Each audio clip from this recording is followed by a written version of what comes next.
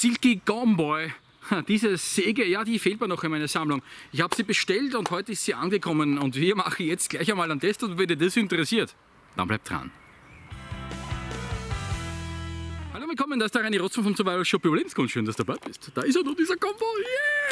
Yeah! Und ich mache jetzt sozusagen gleich einmal das Unboxing von dieser Geschichte und wir machen dann gleich einmal einen Sägentest. Ähm, ich habe ja schon sehr viele Silke-Sägen und zwar den Katana Boy, den kleinen Katana Boy, den Mini, dann den Pocket, Pocket Boy klein, dann einen größeren Pocket Boy, dann diese komische, wie heißt die, die was so gebogen ist, ah, ich weiß gar nicht mehr, ich habe voll, voll viel Sägen, ich habe ein bisschen, sag's aber niemandem weiter, ein bisschen einen Sägenvogel, also einen Sägentick und ähm, ja, so ist das ganz einfach. Okay, das ist einmal die Verpackung. Da steht ein bisschen was drauf. Ja, passt alles klar.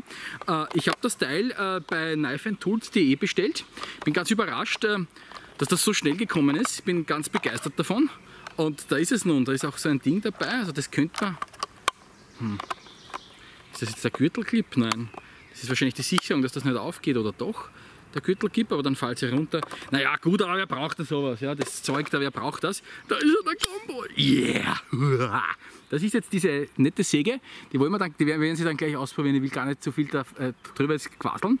Die ist echt fett. Ich, sie liegt auch extrem gut in der Hand. Was ist das? Hm, da ist der. Nein, aber das ist sicher ein. ein das haben die da reinbaut. Ja, das ist aber nur. Ja, aber sonst hat ja das keinen Sinn, weil sonst kriege ich die ja nicht rein. Entschuldige, wenn ich jetzt mit mir selber rede, das ist auch sehr spannend, wenn man mit sich selber redet. Äh, man, kriegt, man hat immer recht, man kriegt nie irgendwelche Widerworte praktisch, außer wenn die Schizophrenie doch ein bisschen weiter fortgeschritten ist dann. Aber so weit bin ich noch nicht. So kann man es auch einstellen. Ja, super. Dieses kleine Nuppel, was da drin war, das war anscheinend nur wirklich für den Transport gedacht. Jetzt kann man sie schön einpacken, sie ist angeschliffen für den Feuerstahl. Ah, wir sägen gleich einmal was. So, da ist eine Hainbuche. Ja, das ist auf jeden Fall eine Hainbuche. Hainbuche ist äh, weich oder hartes Holz, weißt du das? Wenn du sagst ein voll weiches Holz, sage ich Daumen nach unten. Wenn du sagst ein hartes Holz, dann sage ich Daumen nach oben. Aha, da fliegt gerade ein Flugzeug über mich drüber. Naja, so ist die Welt. Und ein sehr, sehr hartes Holz. Äh, ja, super Brennholz. Auch als Druckstück zum Feuerbohren gut zu gebrauchen. Aber wenn ihr das Thema Bäume interessiert, die Bestimmung, dann gebe ich da unten einen Link zu meinem Baummentor-Programm. Schau dir das einmal an. Und äh, da lernst du ein ganzes Jahr lang alles über Bäume, sie zu bestimmen und sie zu verwenden. Achso, das siehst du nicht, Entschuldigung. Aber jetzt.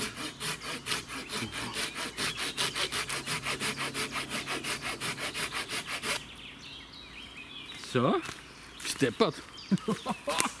Sagt man so in Österreich. So gemeint, ist gemeint, bist du wahnsinnig? So, muss ich dann nur aufpassen, dass mir das auch nicht am Kopf fällt oder dass oben was abbricht und mich fehlt. Das wäre echt super auf Video. Und irgendwann, weil der Baum so rüber geneigt ist, wird das vielleicht auch ins Zwicken anfangen.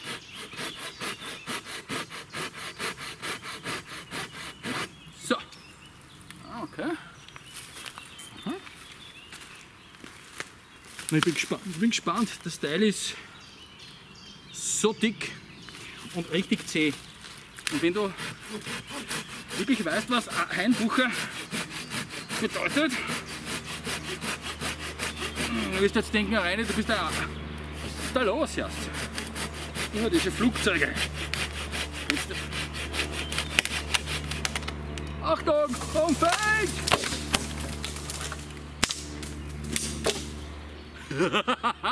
War cool. Also das ist durchgegangen, echt fett. Und zur Hainbuche, muss ich gleich dazu sagen, das ist eher ein hartes Holz und wirklich ein sehr zähes und auch äh, dichtes Holz. Also es ist... Oh.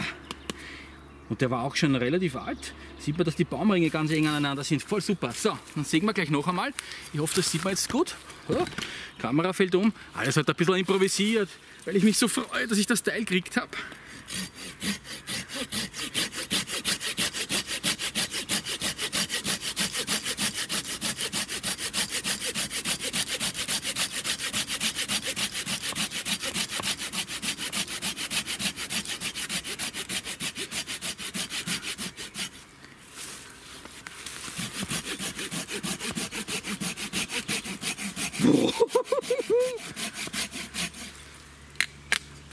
Geilomat. echt fett, wirklich echt fett, das taugt mir voll. Ja, also ich muss sagen, echt, echt, echt toll, echt fette Sache und ich bin richtig begeistert. Ich bin ein bisschen ins Schwitzen gekommen, daher sind jetzt auch die Gelsen, die Stechmücken rund um mich und äh, nageln mich hier ab. Ich weiß auch nicht, was mit denen los ist, aber egal. Der Style ist echt super. Ich habe auch von Silke nichts anderes erwartet. Aber was ich dazu sagen muss, ist folgendes. Der ist ja länger, dieser Gombo ist länger als der Pocketboy, das merke ich schon, aber er ist nicht schwerer. Und da habe ich mir gedacht, woran kann das liegen? Und ich habe jetzt meinen Pocketboy nicht da, aber hier innen drinnen ist beim Pocketboy, wenn ich mich richtig erinnere, ist auch noch einmal so eine Metallschiene auf beiden Seiten. Das scheint hier nicht der Fall zu sein, sondern da geht nur oben das Metall anscheinend durch. Das heißt, die haben einen Gewichtsspaß und das finde ich super, weil die ist länger. Und länger ist besser. Nicht immer und überall. Manchmal ist auch Technik wichtig. Aber hier ist Länge bei einer Säge, speziell wenn ich äh, dadurch nicht mehr an Gewicht habe, vielleicht sogar noch ein bisschen leichter, ist das auf jeden Fall ein Vorteil.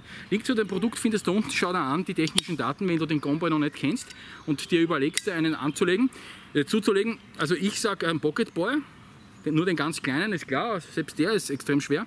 Ich werde mal ein Vergleichsvideo machen, das verspreche ich dir. Und ich werde ihn auch in den Langzeittest nehmen. Ich finde den nämlich echt top, wirklich top. Und ich werde mal ein paar Eisenfichten damit äh, umschneiden und äh, werde dir äh, berichten. Also das finde ich echt, echt toll.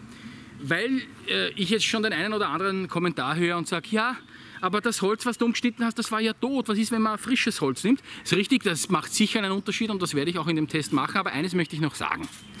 Das Holz von der Einbuche, das ist kein Pipifax-Holz.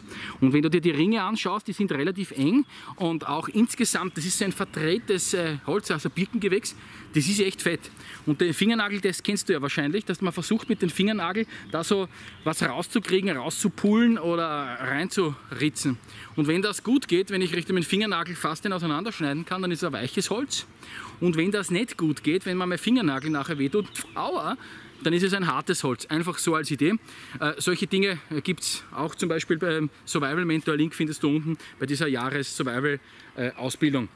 Insgesamt eine feine Sache, muss ich echt sagen. Und jetzt, ja, jetzt wollen wir uns noch was anschauen. Ja, ich habe hier ein bisschen eine Birkenrinde von einem abgestorbenen Ast gefunden. Und ja, holen wir da jetzt die letzten Reste. Es ist schon ziemlich hinüber. Ich hoffe, dass das gut funktioniert.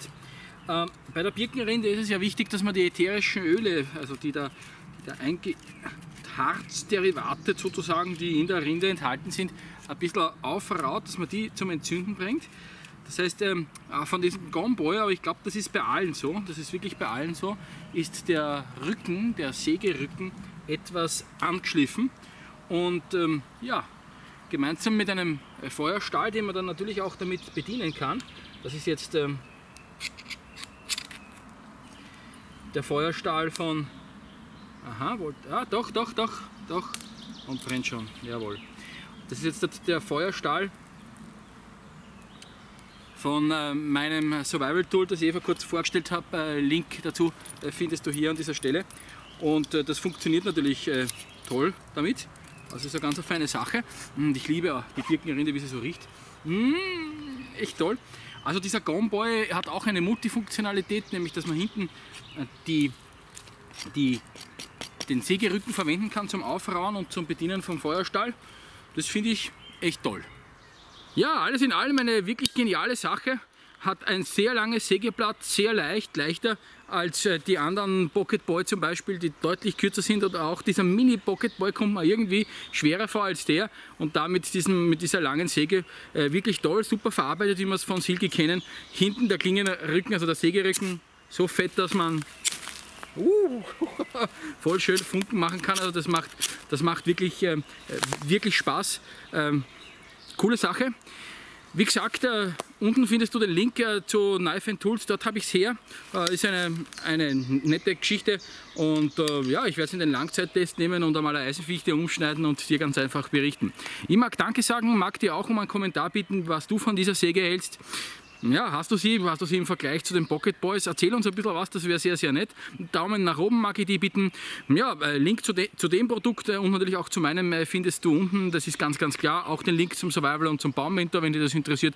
Aber wenn du das erste Mal hier bist, da geht es zum Reini Rossmann Kräutermentor Programm Kanal. Ein paar andere Videos zum Anschauen. Hat mich gefreut, dass du dabei warst und Viel Spaß beim Sägen und beim ah, Feuer machen. Ciao.